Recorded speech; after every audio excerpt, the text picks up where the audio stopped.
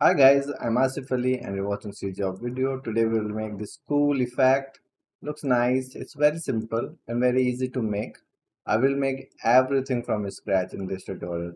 So even a beginner can learn from this tutorial. You will learn how to make materials, how to make emitters, add lights, glow, everything in this tutorial. So let's dive in. So let's start this. So I have this scene with this character. So first we need to make a material for the ring. So I'll just I have lots of rings and lots of rings tutorial already. So there are lots of ways to make the ring. So what I'll do here I'll just make this transparent unlit unlit to side. We will just use emissive and opacity then we'll just take the radial and this is the radial. And to make the ring out of this radial I'll just use a sine.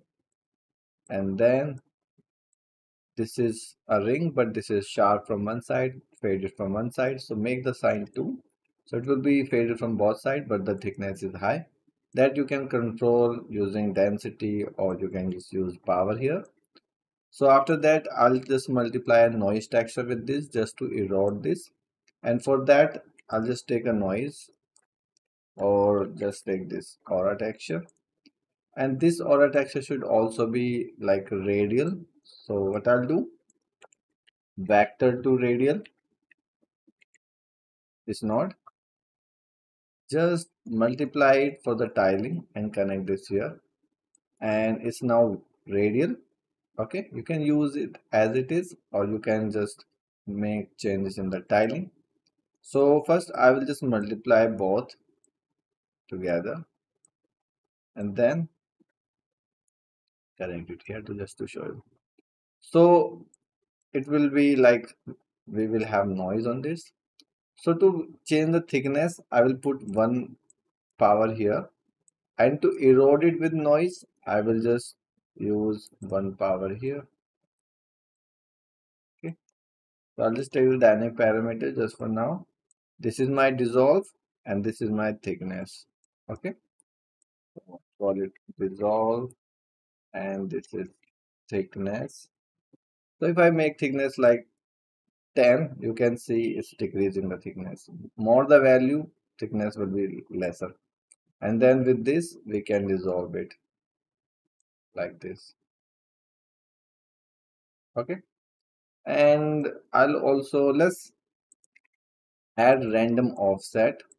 So you can just use particle random so every particle will have a random offset of this texture. So they will not look same. Some will have different kind of pattern here. Okay. You can also make a parameter then randomize in the Niagara.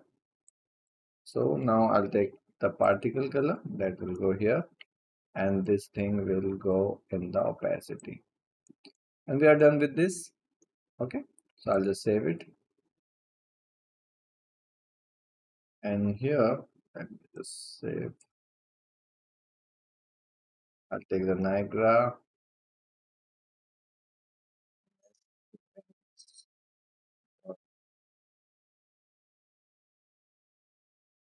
So right click take a minimal emitter and then I need uh, some particles so and they should spawn just once. So in here in the state just make the self and once. Then take the burst and maybe I need five particles for now. And I need this so I'll just use that here. Okay. I'll take the dynamic parameter. I set the default settings 1 maybe 5 so we have this. Okay. And dissolve it like this. Then this is camera facing. I will make this facing the Z because if I'll show you let me just make it local and I'll drag it here. First it's very small so we can make it bigger from here. Let's say this is 200 and it's camera facing right? So it should be around the character so what I'll do here in the sprite render make this custom alignment custom facing vector then take align to mesh orientation. By default it will align on x-axis okay see x-axis we need z-axis so make the x-axis 0 and z-axis 1 like this. But we have five particles which is overlapping each other. We need some position offset. You can do two, things. You can add offset in the z-axis here or just take the shape location. Take cylinder make the radius 0 and we have just height which is 10 so which is 100 sorry. So in this height these five particles will randomly uh, distributed. Okay? Now let me see how it looks. Okay. Should be down here. Okay cool. Now i'll take the size sprite and it should scale quickly maybe at point or just I'll just make it like this. Make the life maybe random. 0.5 0.6 0.4 and size I'll make random which is 200 right now 200 and 400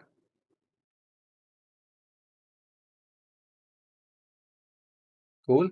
But these should dissolve and fade so I'll just dissolve these. So with the dynamic parameter this value. First let me check at which value the, these are dissolving. And there is a seam here. If you can see that line here go here select this and use mimic level. Save this again. That seam will go. Okay that's gone. So let me see. It's 6 now. And at around 50 it's gone. So I'll just make a curve here.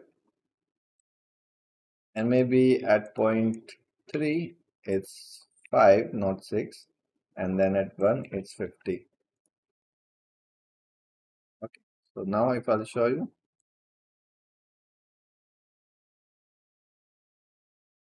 This is how it looks I want to make them even bigger maybe 500 and 700 cool.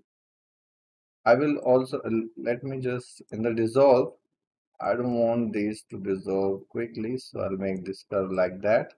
So it will take some time to dissolve. Cool. And these should rotate also so I'll just add rate. And let's say 200 let me see how it looks looks good. I'll just randomize it. So 200 and 300 some will rotate faster. Cool. Now we can of course change the color. So I'll just go random not random this. And take the color maybe orangish. And see we have some already variation because of the hue shift and in the brightness also I will make some really bright. But these should not bright for all the time. So I'll take the scale color. Make this float. Make this curve. Initially these are 1 at point 0.2 these are point 0.2 and then at 1 it's 0 so they will quickly reduce the brightness Cool. One more thing I would like to do is maybe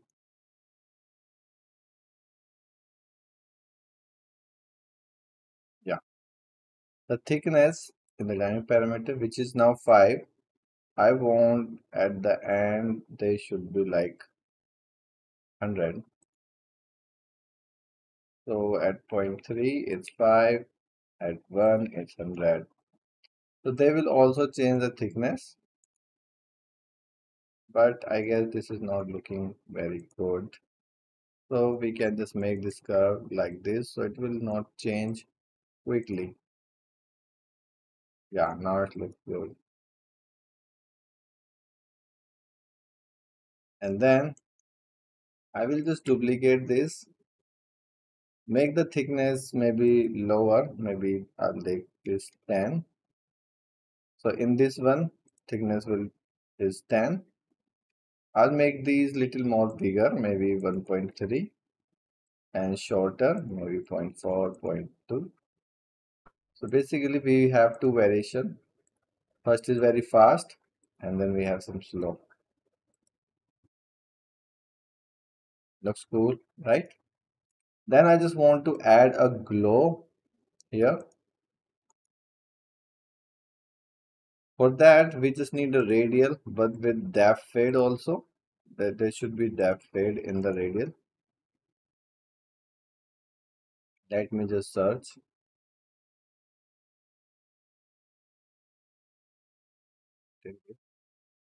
So we have radial, which has also depth fade. Quite simple, ignore this. This is just a hue I use for another tutorial. Very simple material. Okay, it has this depth.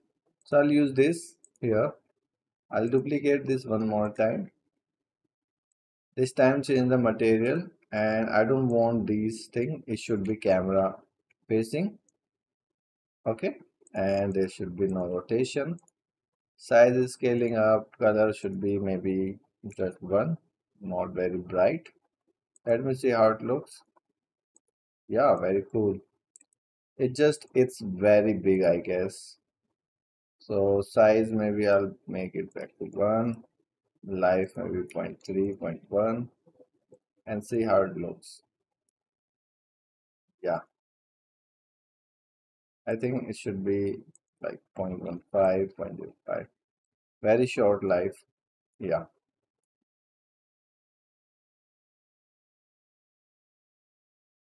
And they should also on the ground so I'll just copy this one more time. Actually, I need that alignment again.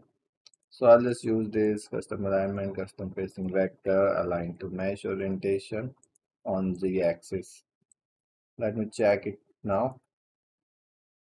But this should be little bit down. Actually, it has the cylinder. I'll delete it. Actually, it has also cylinder that I will delete.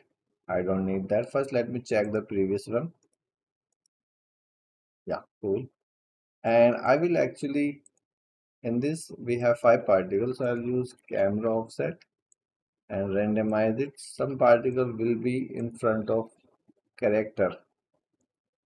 See, now character looks it's inside there. Now in this one let me check this. I need to just move it little up maybe 5 because it has that fade 20 yeah now it looks fine. And I'll make it little bigger maybe 1.2 and let me see here now. So we have glow on the ground. And that glow on the ground should have more light 0.25 0.2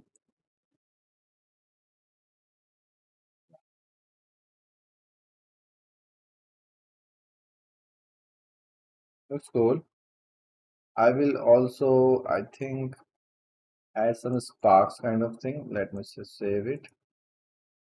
Now I will duplicate this one again, which is below this one. I'll make the size maybe 5 and 2 font maybe 200 just for now and then location and I'll take the torus and maybe live 0.5 0.3 right? And then I will add vortex force actually we don't have velocity anymore. So make this so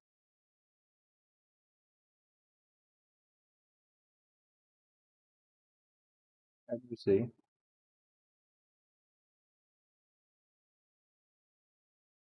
Let me see with all the elements.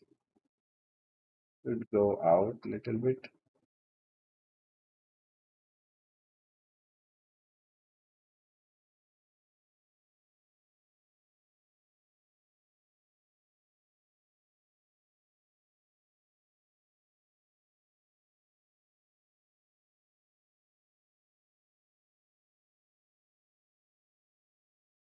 Then I will use velocity align. I'll use size by speed maybe 5 and 10 and this size maybe 2 and 1.1 yeah. We can also add lights in this emitter if you want. Yeah make it 50 maybe 500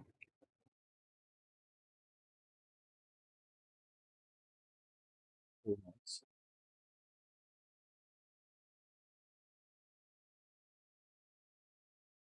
looks nice. Very simple effect yet it looks nice. One more thing i'll do. I'll duplicate this one more time.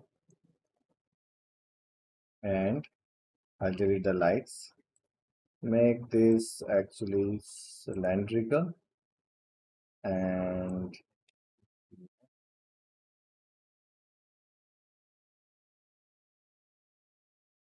spawn maybe just 50 type 1 I want some particle to remain at the end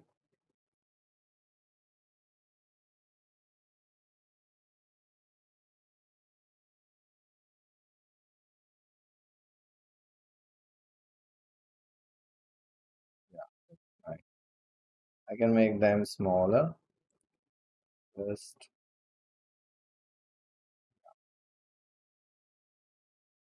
so if you see that from other view maybe top looks nice but the position of my effect is not the same. So I'll select this copy. Uh, I'll select effect or just I'll move it here